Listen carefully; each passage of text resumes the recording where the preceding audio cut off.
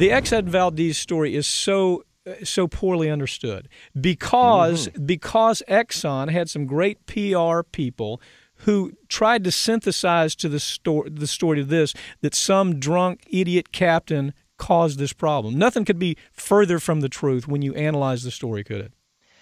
That's right. What the problem is is that they were we were sold on drunken skipper hits reef. That this guy hit a reef. This is 20 years ago, by the way, this week. Mm-hmm. Uh, that that a guy hit a, gre- a reef because he was drunk, like he's at the wheel. He wasn't at the wheel. He's sleeping it off. Here's the here's the, what they didn't tell you. Because the reason you got that story is that Exxon wants to make a human error. In fact, it was corporate fraud. And so I was an investigator for the Chugach natives, the people whose coastline was slimed, their lives destroyed by Exxon's oil. What I found is number one, the radar was off. They, this is before GPS, so that kind of a pre-GPS system. Was expensive to run, expensive to train, so it's cheaper to turn it off. Mm, too expen- too, and, and disabled, too expensive to fix the ones that was broken. Right. Right. If if it was on, a three-year-old could have taken it through the Narrows. It wouldn't have happened. Number two, and I'm looking at documents as we speak. You'll just have to take my word for it. I feel like you know uh, Joe McCarthy. I've got documents. Mm-hmm. no, here. no, we, we this story's been backed up. Since Yeah, you, no, eh, well, only after you, only you after that- you wrote it, by the way. But but anyway, go ahead. Uh, I have to say that the difference between me and Joe McCarthy is I actually have the document. um, and internally, But you still have no shame. We have these promises by Exxon and its partners that they would leave oil spill equipment at strategic points along the Alaska coast. In particular, at Bligh Island, right where the ship hit, which would you know surround the ship with uh, Right, right. with boom with uh, floats that would keep the oil in. There wouldn't you wouldn't have even read about this ship if they had the equipment there. But you know what? How they dealt with putting the equipment there? They lied.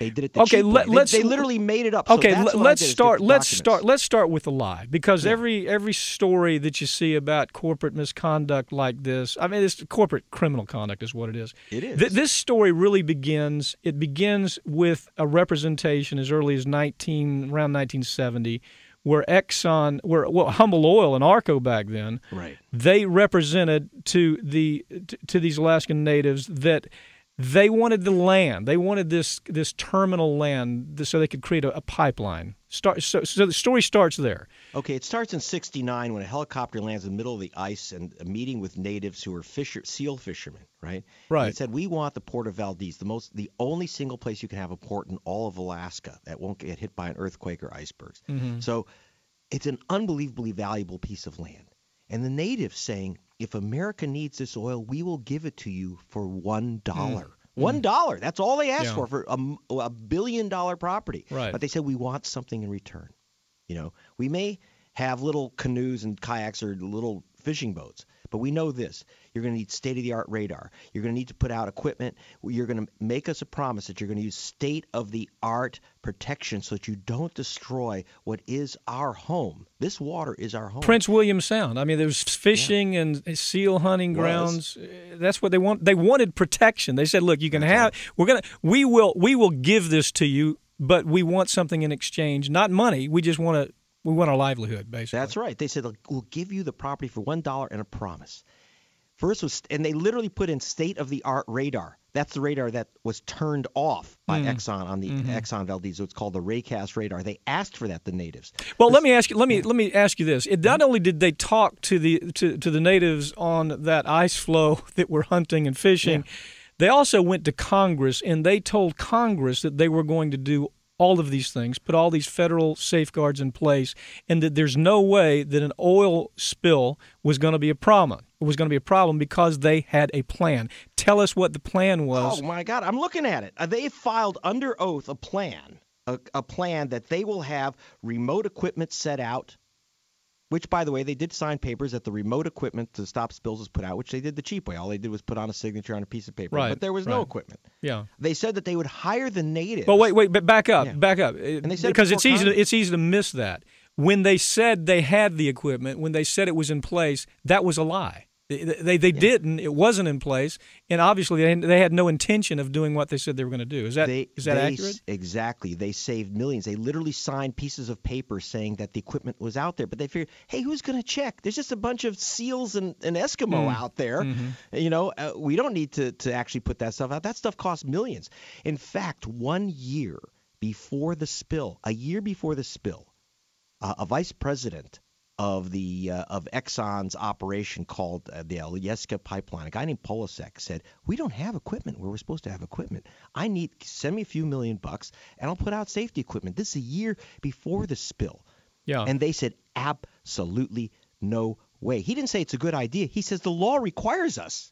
Mm-hmm. Well, that's like saying, well, we don't need brakes because that just adds, you know, expense to the car. Tell, tell us about the, the this secret meeting that took place in 1988. Uh, yeah. Alyeska, the vice president, TL, uh, what was this, Polasek? Polasek. Yeah, tell us tell us about that meeting and how this fits into the ongoing, not just the original lie to the Eskimos, I mean to the to the natives, not just the original lie to Congress and taxpayers that they were going to make all this safe, not just the original lie signing a document when they knew they didn't have the equipment, but this is the continuation of the lie. What is that part? Oh, that there was a meeting of the top executives of the biggest oil companies in the planet who are all together on and shipping oil out of Alaska. That's British Petroleum, that's Exxon Mobil. Um, they were all there. Mm-hmm. Okay, and the top executives meeting in Arizona. Right, they're not going to go up and get get cold. They're going to be at a resort, right?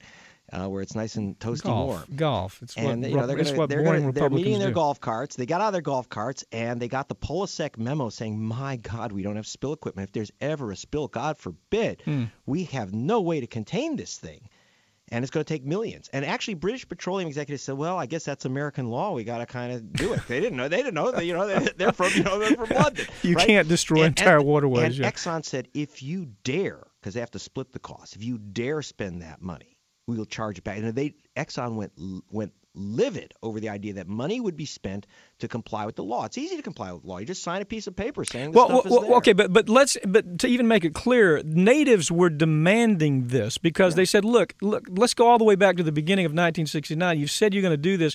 We're now in 1988. They're still not comfortable with what these oil companies have done. They they still understand how exposed they are.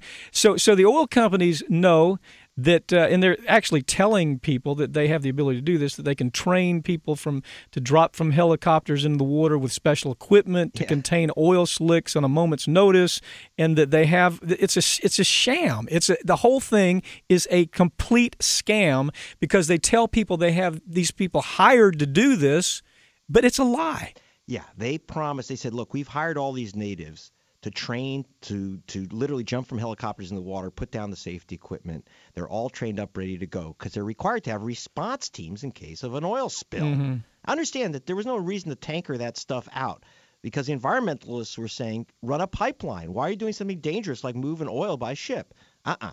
They said, "Well, because we can contain it. We've got these native crews." Well, after a couple years, they fired all the natives. Yeah Okay, they they took their land, they fired them. It's the oldest game since Custer, you know, and they fired the natives. The problem was that left the entire coastline Well, they without could- any protection, yeah. team, which they said existed. So what they did is they took people's names and they just made up made up stuff. Yeah, Just m- th- they made up jobs, it up. didn't they? They made up jobs. They made up training. They said, "Oh yeah, we have a standby group ready to do this if it's a problem," and it was a lie, a total lie.